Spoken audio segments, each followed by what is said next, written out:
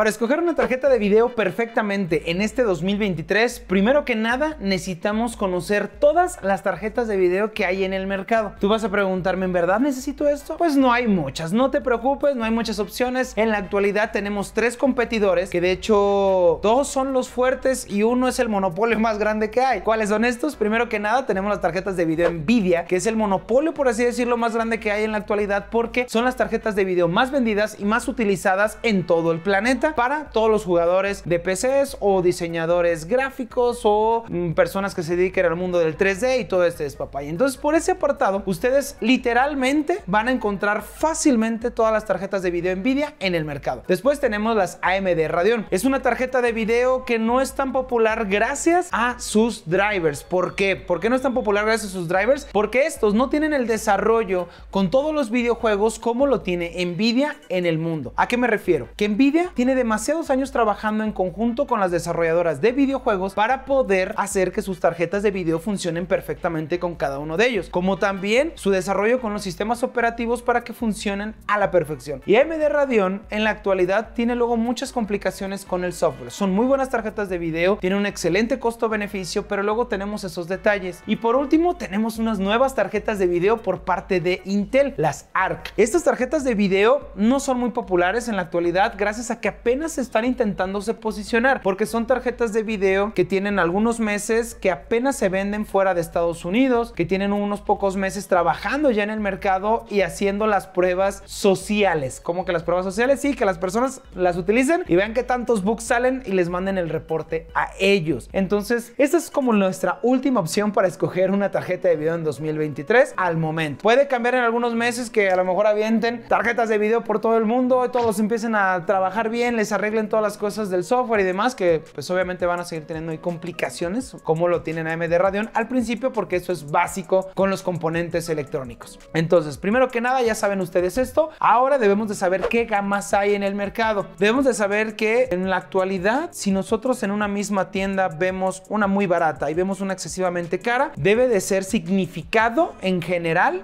de que la más barata es la más básica y la más cara es la más tope, lo más poderoso que nosotros vamos a encontrar. Esto dándole un significado global, pero un significado técnico vamos a encontrarlas con las siguientes nomenclaturas.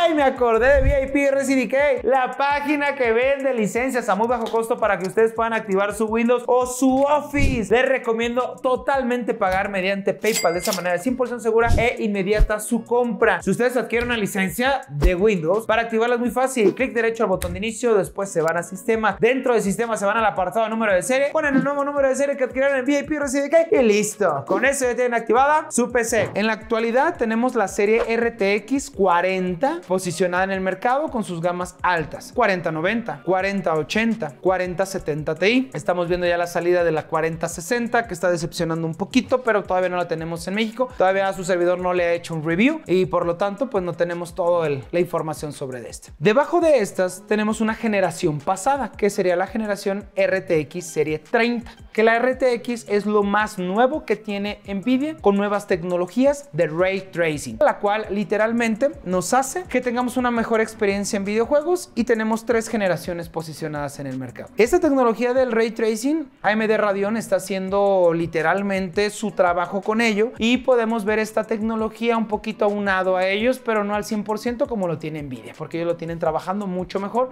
y tienen núcleos específicos dentro de sus tarjetas de video para esa tecnología, cosa que pues no vemos todavía muy bien trabajado por el lado de AMD Radeon y que también dice Intel que lo está trabajando y que lo está haciendo, ¿vale? Entonces, aquí lo importante es saber las generaciones en las que estamos. En este abril del 2023 tenemos esta serie 40, lo más nuevo que hay. Ahora, si tú te encuentras una GTX en el mercado, pues esto es significado que es cuatro generaciones atrás y que en estas vamos a encontrar las gamas más bajas. La más baja sería la GTX 1630. Después tenemos la GTX 1650, luego la GTX 1660 y dentro de estas gamas tenemos la Super o la TI, que son variantes del mismo chip gráfico. Por lo tanto, tanto, aquí lo que debemos de tener en cuenta es que si tú te encuentras una tarjeta de video GTX 1070, una tarjeta de video GTX 1080, pues es de hace cuatro generaciones. Y para atrás nos podemos ir así. Sería una GTX 980, más atrás una GTX 780, porque la 800 no la tuvimos en el mercado, más que para laptops. Luego, anterior a esa, tuvimos la GTX 680, GTX 580, pero te estoy hablando de muchos años atrás. Ahorita, simplemente por parte de Nvidia, tener bien posicionado esto. Por parte de AMD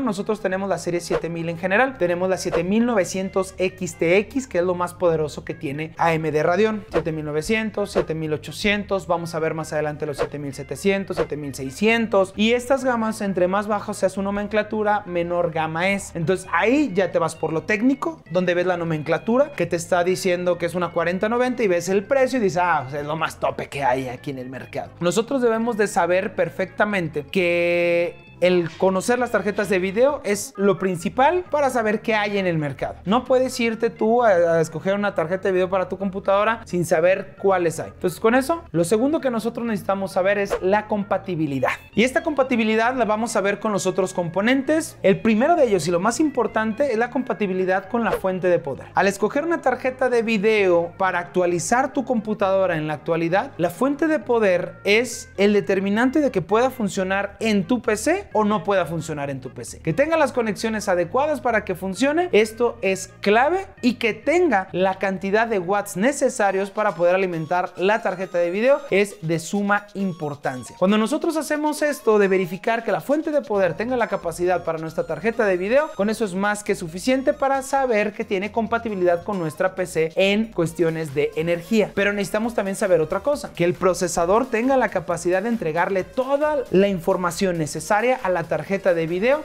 para que pueda trabajar realmente su 100%, porque eso sí necesitamos. Necesitamos que la tarjeta de video vaya al 100% para sacarle el provecho. ¿Qué pasaría si tú pones un procesador muy básico, un Core i3, o qué pasaría si pones un Pentium por el lado de Intel, algo súper básico, le pones una RTX 4090, lo que va a hacer es el famosísimo bottleneck o cuello de botella en nuestra PC, el cual sería que el procesador no tiene las capacidades para mandar toda la información necesaria para que la tarjeta de video procese el videojuego y por lo tanto vas a estar jugando con la tarjeta de video al 50% de su capacidad. Y hacer eso definitivamente es algo que no queremos hacer y que vamos a desperdiciar dinero, porque de eso se trata este video, que tú no desperdicies absolutamente un solo peso y compres la tarjeta de video más adecuada para ti. Por este apartado, si tu procesador no tiene las capacidades para una tarjeta de video ni se la pongas, porque al final de cuentas puede ser que termine funcionando igual que la que tienes en la actualidad. Así de fácil. Gracias a que está trabajando al 50%, gracias a que está trabajando un 60-70% y no te está dando el 100% que tú es lo que requieres. Por lo tanto, la compatibilidad es algo sumamente importante. Si tú vas a armar una computadora desde cero y estás buscando cuál es la mejor tarjeta de video para ti, te doy más puntos adelante y la que tú escojas, a partir de que ya conociste cuáles hay y los otros puntos que te voy a decir, pues escoges un procesador adecuado y escoges una fuente de poder adecuada para esta y que funcione perfectamente.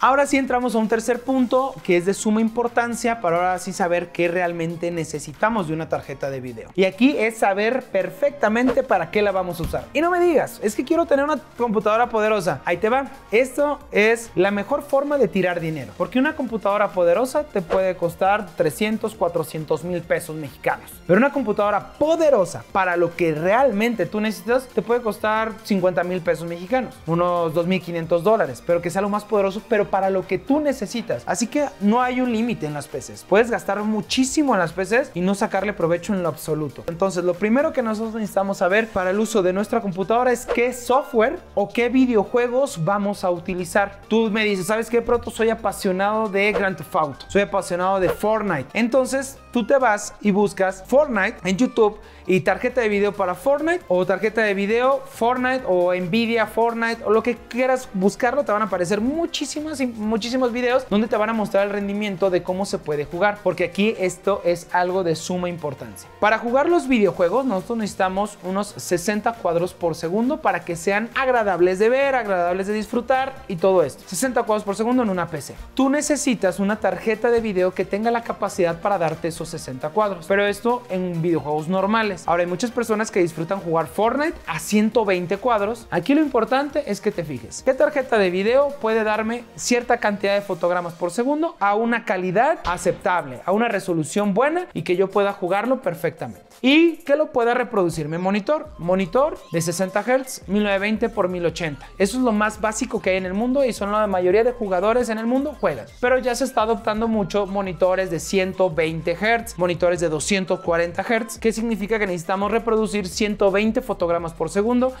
240 imágenes por segundo. Entonces lo que nosotros necesitamos buscar cuando investigamos es, ah, ok, está en la calidad más baja, está a 1920 x 1080, es una tarjeta de video sencilla, una GTX 1650 y me lo corre el Fortnite a 70 cuadros por segundo. Perfecto, si esa calidad quieres, si eso quieres disfrutar. Aquí lo que nosotros necesitamos ver es que podamos jugar el videojuego a calidad media o calidad alta, a muy buena tasa de refrescamiento, muy buenos FPS y buscar esa tarjeta de video para saber cuál es la perfecta para nosotros. Así que si nosotros encontramos a Fortnite y que necesita cierta tarjeta de video, perfecto. Ahora, ¿qué pasa con los programas? ¿Qué pasa con el software? Si tú te dedicas al mundo del 3D, trabajas con un Maxcom 4D, si tú trabajas tal vez con un SketchUp, algo básico y demás, pues buscas cuál es la tarjeta de video recomendada para esos programas. Pero aquí mucho. Hay programas que se benefician más del procesador que la tarjeta de video por si tú te dedicas a este mundo profesional. Entonces presta mucha atención, lee muy bien todos los apartados para que sepas perfectamente que se puede literalmente con una tarjeta de video a lo mejor sencilla, pero a lo mejor un procesador más poderoso. Leer las especificaciones de cada programa. Luego te dan unas especificaciones muy básicas. Una vez que ustedes ya sepan perfectamente de que, ¿sabes qué? Quiero jugar Counter Strike a 240 FPS y demás ya tengo mi monitor que los voy a reproducir porque no seas de esos. El que tiene un monitor de 60 Hz y quieres que corra 300 FPS, cosa que no te va a servir de nada. Entonces, por este apartado, solamente necesitamos darle un ratito de investigación. Estos se van a tardar 10, 20 minutos y van a encontrar toda la información. No se preocupen. Y de hecho, esto es una de las cosas más importantes porque ahora nos vamos a la cuarta, que pues obviamente son los presupuestos. Muchas personas no equilibran en lo absoluto los presupuestos. Y para escoger una tarjeta de video, siempre, siempre les recomiendo que lo equilibren con con todos los demás componentes de su computadora para que eviten que tener algo muy básico en procesador y una super tarjeta de video o un super procesador y una tarjeta de video bien básica que ni les va a dar los cuadros que ustedes necesitan. Entonces en este cuarto punto vamos a equilibrar los presupuestos. Ya sea que estás armando una PC de cero o ya sea que estás actualizando una PC, es exactamente lo mismo. Cuando armas una PC de cero, ¿qué vamos a hacer con una tarjeta de video? Así de fácil. Les voy a dar unos ejemplos globales que no son específicos para ustedes, pero globales para que tengan una idea. Si nosotros tenemos una RT RTX 4070 Ti, lo vamos a poner con un procesador Core i5 13600K, lo vamos a poner con 16 GB de memoria RAM, una fuente de poder de 750 watts, vamos a poner un gabinete Mi Tower, vamos a poner todo, todo, todo acorde. Ahora, ¿sabes qué, Proto? Estoy viendo que el juego que yo necesito, tal vez Among Us. No, pues hasta con una GTX 1630 lo puede correr a más no poder, pero ¿sabes qué? Yo quiero otros jueguitos ahí basicones, pero a lo mejor unos más demandantes y más. Entonces una GTX 1630 es perfecta para mí, proto. Entonces aquí, pues lo mismo. Te vas por un Core i3, te vas por 16 GB de RAM, te vas por una fuente de poder de 450 watts. Haces un equilibrio en todos los componentes. O si tu PC que ya tienes tiene un Core i3, tiene esto, tiene otro, pues lo máximo que buscas es una GTX 1650, que son de las tarjetas de video de entrada de Nvidia, porque ya una 1650 puede correr muchas cosas. Es una verdadera chulada y ya puedes correr muchos videojuegos a, muy buena resolución. Entonces, aquí los presupuestos van a ir adecuados a lo que quieres. Si tú quieres correr las cosas a 60 FPS, 120 FPS a 4K, el presupuesto se va a equilibrar a muy alto, porque vas a necesitar, pues tal vez un Core i7, vas a necesitar un Ryzen 7 por parte de AMD, vas a necesitar 32 GB de RAM, vas a necesitar, pues mucho más poder en general, una RTX 4090, ya vas a necesitar de lo tope, lo tope para videojuego. Entonces aquí se trata de ser un equilibrio. Esto tengo en mente cada vez que van a comprar una nueva tarjeta de video. Todo, todo, todo, todo tiene que hacer un equilibrio. Y ahora como quinto punto, les voy a dar las tarjetas de video mejor costo-beneficio para cada cosa que quieran. Y voy a hablar un punto importante. Si nosotros queremos una PC gamer básica costo-beneficio, o sea, lo más de entrada, pues vamos a utilizar literalmente una GTX 1650. Vamos a utilizar un Core i3 o un Core i5 en el mejor de los casos. 16 GB de RAM y todo esto. Esto es lo mejor costo-beneficio para lo más barato. Ahora, una media. La computadora gamer mejor costo-beneficio. Ya la hemos hecho dos veces aquí en el canal. La hicimos con Intel, la hicimos con AMD. Core i5, RTX 3060, 16 GB de RAM, fuente de poder de 600 watts, eh, unidades de almacenamiento adecuadas a lo que tú quieras, tarjeta madre que no sea de la gama más alta, o sea, todo adecuado. Si tú quieres tener lo más poderoso para correr cualquier videojuego que hay en el mercado, Howard Legacy a 4K, quieres correr también un Cyberpunk a 4K y demás, pues obviamente vas a necesitar buscar una 4070 Ti, vas a tener que buscar un Core i7, vas a tener que buscar un Ryzen 7, algo ya más pesado. ¿Se dan cuenta el costo-beneficio en este apartado? Pues va yendo escalando con todo lo que estamos nosotros mencionando. Ahora, por parte de lo profesional, las RTX serie 30 y serie 40 ya absorbieron completamente toda la tecnología de las tarjetas de video cuadro para el mundo profesional. Ya tienen los drivers también indicados para trabajar con un programa como 3D Max, Max con 4D, para trabajar con cualquiera de estos, entonces ya nos tienen que preocupar por buscar una tarjeta de video específica profesional como una cuadra. Por ese lado, pueden ya olvidarse de ellas y agarrar las RTX serie 30 o serie 40 para el ámbito profesional y esas mismas les va a funcionar para correr cualquier videojuego que hay en el mercado. Entonces tienen ustedes cinco puntos claves para que escojan la mejor tarjeta de video para ustedes. En el apartado del presupuesto, pues estírense bien con ellas que lo van a disfrutar mucho. Si pueden darle buena resolución, 1920 x 1080, si pueden darlo a más de 60 cuadros, van a disfrutar todos los videojuegos hermosamente. Así que ya lo tienen todo. Eso es todo este video y nos vemos hasta la próxima. Bye bye.